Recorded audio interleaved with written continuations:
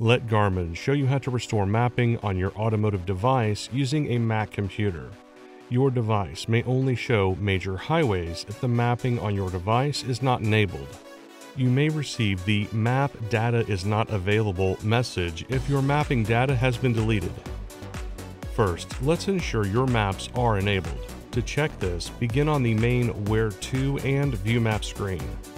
Then select Settings select Navigation, followed by Map and Vehicle. Next, select My Maps. Here, we will see a list of available maps on your device. A check mark in the box indicates the maps are enabled, allowing your device to navigate in these areas.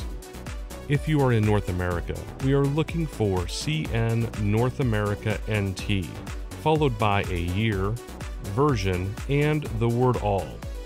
Select the box if it is unchecked to enable the mapping. Then select OK. We can then use the circle icon at the bottom to return to the main screen. Here we can enter an address or select a point of interest to verify your device's map data has been restored.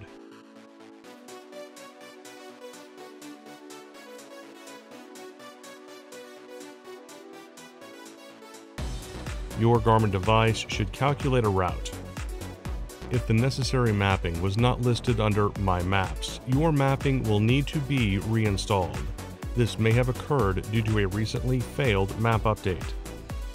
Keep in mind, a failed wireless update can cause mapping to be deleted due to a download interruption or reduced download speed when using a cell phone hotspot we will not want to use the Wi-Fi download process if you receive the map data is not available error after attempting a Wi-Fi update. If this is the case, we will need to reinstall the maps. We can reinstall the maps using a computer with a home high-speed internet connection and Garmin Express. In this video, we will be using a Mac computer. To begin, plug your Garmin device into the computer using the included USB cable. Ensure Garmin Express is up to date if it is already installed on your computer. To check, click Garmin Express in the Apple menu bar. Then click About Garmin Express. Next, click Check for Updates to Express. A You're Up to Date message will appear if you have the current version. Click Install Now if there is a new version available. If you don't have Garmin Express, you need to download and install it. To begin, open your internet browser and navigate to garmin.com forward slash express. Keep in mind, we do not want to do an internet search for Garmin.com using Google, Bing, or other search engines. This will provide pages of results, many of which are not affiliated with Garmin even if they have the word Garmin in their name. Some of these sites charge for assistance. Garmin does not charge fees for the support of its products. Those impersonating Garmin may also ask to gain remote access to your computer. Garmin will not request access to your computer. Once you are at Garmin's website, click Download for Mac. Then click the Garmin Express.dmg file. If you are unfamiliar with locating downloaded programs on your Mac, just hold Option, Command, and L on your keyboard to access your downloads. This will display all your downloaded programs. Then click Garmin Express.dmg. The Garmin Express installer will now open. Then click Install Garmin Express.pkg, followed by Continue click Continue again. Next, read the license agreement and click Continue. Then agree to the terms. Click Install. If a password prompt appears while installing Garmin Express, enter your Mac's username and password. Then click Install Software. Then click OK.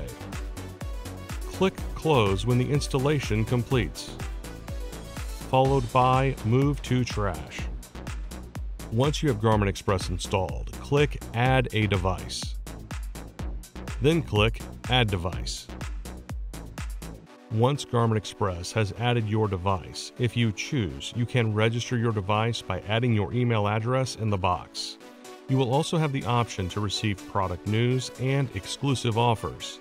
Then single left click Next.